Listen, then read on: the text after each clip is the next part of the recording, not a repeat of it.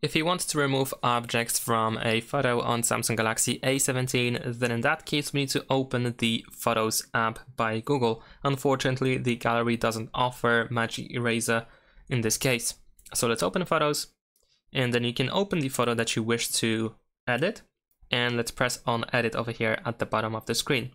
Now you should be able to switch to Actions, and then over here we have our Magic Eraser. So let's select this option, and now let's wait a couple of seconds and now we can tap, circle, or brush the area that we wish to erase. So let's say I want to get rid of this USB flash drive.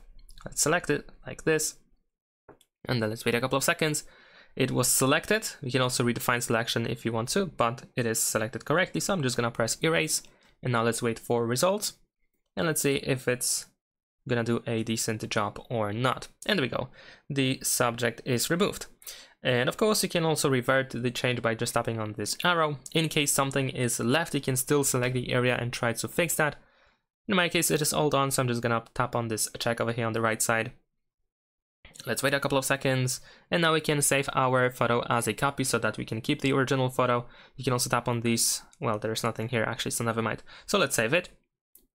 And there we go, we have our photo with removed object. Thanks for watching, leave a like and subscribe.